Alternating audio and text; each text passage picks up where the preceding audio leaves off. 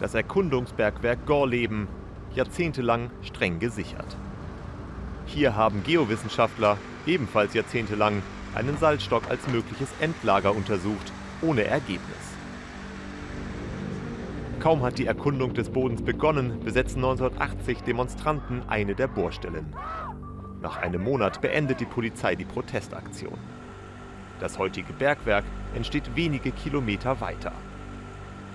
Direkt gegenüber liegt das oberirdische Zwischenlager. Von 1995 bis 2011 bringen 13 Castor-Transporte hochradioaktiven Abfall ins Wendland unter heftigem Protest. 2013 dann das vorläufige Ende der Erkundung unter Tage. Ein politisches Signal. Die Suche nach einem Endlager soll bundesweit ganz neu beginnen. Das Bergwerk könnte später wieder in den Fokus rücken, doch vorerst sind alle Arbeiten auf ein Minimum heruntergefahren. So kennt Wolfgang Emke das Erkundungsbergwerk Gorleben seit vielen Jahren, geschützt wie ein Gefängnis. Wie oft er hier vor der Mauer demonstriert hat, das weiß der Atomkraftgegner nicht mehr. Moin. So schnell hinter die Mauer zu gelangen, das war früher undenkbar.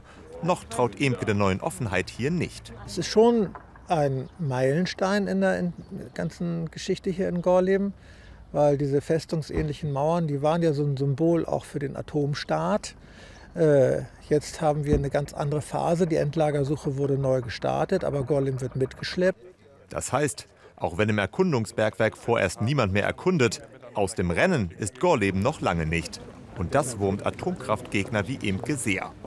Auch wenn sie heute oft zu hören kriegen, dass zukünftig alles besser laufen soll bei der Endlagersuche. Nicht aufoktroyiert, sondern gemeinsam äh, mit den äh, Menschen, mit den Regionen, faktenbasiert, wissenschaftsbasiert, so gut es eben äh, geht, auf der bestmöglichen Kenntnis, die wir haben, suchen wir nun einen ähm, Ort, äh, in dem wir den atomaren Müll unterbringen können. Heute kann sich Emke davon überzeugen, dass die Betreibergesellschaft ernst gemacht hat. Viele Stollen in knapp einem Kilometer Tiefe sind abgesperrt, Messtechnik und viele Maschinen wurden abgebaut. Doch die große Sorge der Kritiker bleibt. In Gorleben seien Fakten geschaffen worden und andere, weniger erschlossene Standorte könnten nur schwerlich damit konkurrieren. Die Betreiber wiegeln ab. Wir werden ja im nächsten Jahr erleben, dass wir einige Regionen ausschließen werden, äh, anhand bestimmter Kriterien. Da wird man dann sehen, was mit Gorleben passiert. Und so wird das an allen weiteren Meilensteinen des Standortauswahlverfahrens für Gorleben bewertet, wie jeder andere Standort in Deutschland auch. Spätestens 2031 dann soll der Standort für ein Atommüllendlager feststehen. Solange wird eine 18-köpfige Belegschaft das Bergwerk Gorleben offen halten. Die jährlichen Kosten bis zu 15 Millionen Euro. Dass nach mehr als 40 Jahren Widerstand hier doch noch das Endlager entstehen könnte, für viele in der Region unvorstellbar. Lüchow-Dannenberg ist sehr gewarnt und das im Grunde für alle anderen Menschen in der Bundesrepublik. Man muss schon sehr genau hinschauen, was dort geschieht und wie nachher überhaupt mit wem und wie verglichen werden soll. Das ist die große Frage, die jetzt im Raum steht.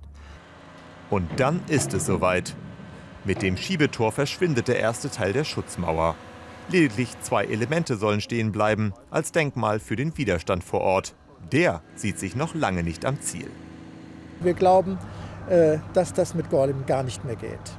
Die Skepsis in der Region ist auch so groß. Ich glaube, da lässt sich niemand durch das Herausheben eines Zaunsegments befrieden. Überhaupt nicht. Im Wendland werden sie weiterverfolgen, was im Bergwerk passiert, egal ob hinter einer Mauer oder einem Zaun.